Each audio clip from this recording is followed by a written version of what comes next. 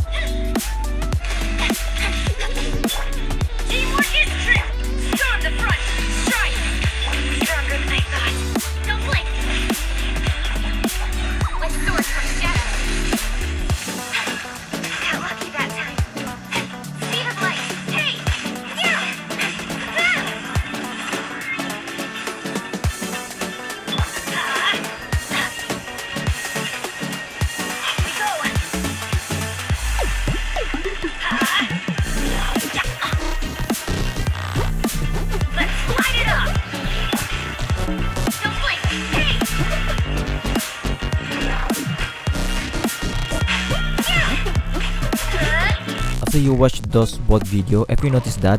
Those both video benchmark unable to reach 60 frames per second. After a time i researched what kind of bug is this. So i found one video i stumbled across in youtube made by indonesians. He said that you can obtain 60 frames per second via this phone by clear the data and cache name as Joyose and you are good to go and you will see the difference of it